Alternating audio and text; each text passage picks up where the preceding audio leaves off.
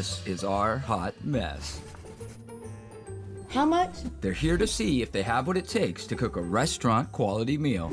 In the middle, not all over the dang plate. Helping them along the way is our professional chef. Throw in a little bit more sesame Our chef is in an isolated room and can only communicate with our hot mess through an ear.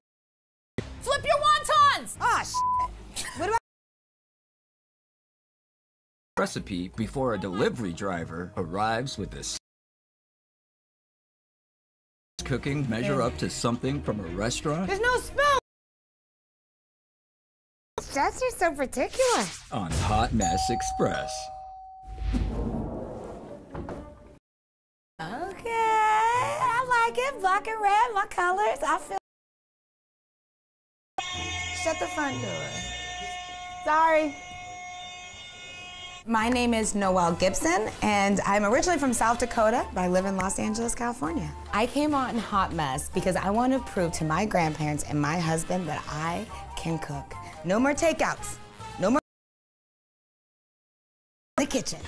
Hopefully.